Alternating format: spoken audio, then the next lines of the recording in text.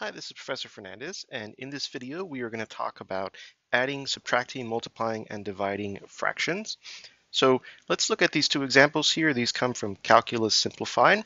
This is example A1, so that's in the appendix, the first example. So it says add and subtract the rational numbers 1 half and 3 sevenths. I'm going to zoom in here a little bit. So there are various ways that you can think about doing this, but the easiest thing to do is to find a common denominator. And the easiest way to do that is to just multiply the two denominators together. So let's do the addition first here. So if we just multiply 2 and 7, we get 14. Then the next thing you want to do, you might have been taught the cross multiplying trick. That is certainly something we can do. But the idea is that you now want to find a way to convert 1 half and 3 sevenths to a denominator of 14. So 1 half, to convert that to a denominator of 14, we can think of dividing 14 by 2 to get 7. So really what we're going to do is we're going to multiply both the denominator and the numerator by 7. That's multiplying by 1, doesn't change the fraction. So if I carry out the multiplication in the denominator, I get 14. That's what I wanted. The numerator, I get 7. Okay, so I would put that 7 up here. That is the first thing that I'm going to add for the new fraction. So I do this process all over again now with the 3 sevenths. I want to convert that to a denominator of 14. So if I divide 14 into 7, I get 2. So I'm going to multiply the 7 by 2, multiply the 3 by 2. Again, that's like multiplying by 1, doesn't change the fraction. But if I multiply across now, I get 3 times 2, that's 6. So that is the number that goes up here. And then really easy part here is you just keep the sign. So we were adding the two fractions, so now we're adding the two uh, numbers we have in the numerator. So we get 13 divided by 14. And that is our sum of 1 half and 3 sevenths. Great, so let me do this again a little bit faster now that we know where this next trick I'm going to teach you comes from. So you might have learned the multiplying, um, uh, the cross multiplying trick. So the way you do this is you would start with 7, you would multiply it against the number here, 7 times 1, that's 7. And then you start with 2, and then you multiply it with the number here. That's the cross multiplication. 2 times 3 is 6. And then again, you keep the original operation. So we do that. That gives us 13 over 14, which is the same answer that we got before over here. Great. So then now what I'm going to do is I'm going to subtract these two uh, rational numbers. So let's erase all of this and give ourselves some space here for subtracting these two. And then we'll do things a little faster now because we know how to do this um, at least two ways. So if I have 1 half minus 3 sevenths. So same thing again, I'm going to suggest that you just multiply the denominators together to get the common denominator. There are faster ways to do this that would you know, build in simplifications at the end, but you know, we don't need to go there. Uh, and now I'm going to do the same multiplication process, the cross multiplication. So I get the same numbers, 1 times 7, that's 7 and 2 times 3, that's 6. But then now the sign is different. I'm subtracting, so I put that in there.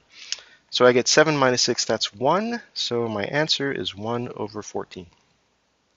Okay, so you might be wondering what happens if, for example, I had a, uh, you know, I don't know, a negative 2 up here, right? So what if I was subtracting 1 half and negative 2 sevenths? So the process would be exactly the same. So the first step here doesn't change. 7 times 1 is 7. The second step here also doesn't change. Now I'm multiplying 2 times negative 2. So that would be negative 4. And then if I keep the sign again, then I'm going to express it this way. So 7 minus negative 4, that's 7 plus 4 over 14. So that would be 11 over 14. That should make sense because if I remove the clutter over here, right? We were originally subtracting a negative number, so we should have ended up adding, which is what we did. So nothing really changes if you have uh, numerators that have negative numbers in them. Okay, and so to wrap this up, let's do this second example here. So what if I want to multiply and divide these rational numbers? Well, the multiplication part is pretty straightforward. So multiplication as we kind of just used above, is multiplying the numerators together. I get 3, multiplying the denominators together. I get 14, and that's it. Um, I might want to simplify if there are any factors that each uh, number in the numerator denominator have in common. but um, that's not always a requirement, so this is where we'll stop. And how about dividing? So to divide fractions, 1 half divided by 3 sevenths, for example, what I do is think of what this would be like. It'd be 1 half divided by 3 sevenths. Okay, so I convert the division into a multiplication by the reciprocal of the denominator. Okay, and this might feel a little strange, but you know, this is what you do all the time anyway.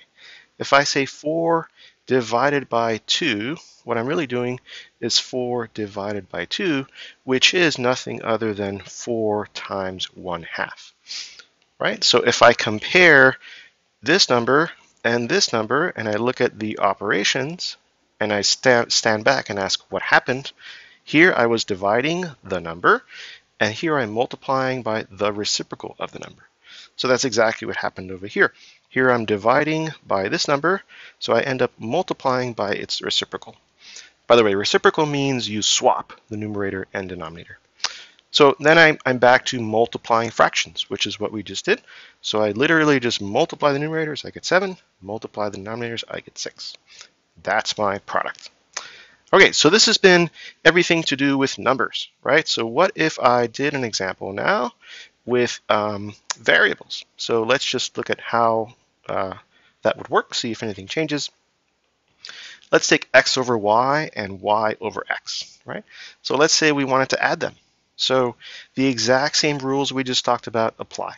So what I would do here is multiply the denominators. I would get yx, and then do the same cross multiplication as before. So the x times x gives me x squared, the y times y gives me y squared, and then I keep the sign, I add them, and that is my answer. Just like it happens with the numbers, you know, you can potentially simplify this. You might be able to cancel out x's or y's. In this case, um, we really can't. But the illustration here was to show you that the same operations for numbers work for variables as well. So how about um, dividing, right? So what if I'm dividing x over y and y over x? Similar thing here. So if I do uh, x over y divided by y over x, I am multiplying by the reciprocal. And then same rules of operations.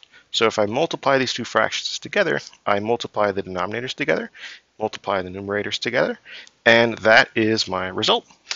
Um, so this video was intended to show you that not only are the rules for the arithmetics of, of fractions, you know, adding, subtracting, multiplying, dividing, things that um, we can do fairly easily, and, and there's shortcuts like the cross multiplication method, but they also carry over into the algebraic um, operations.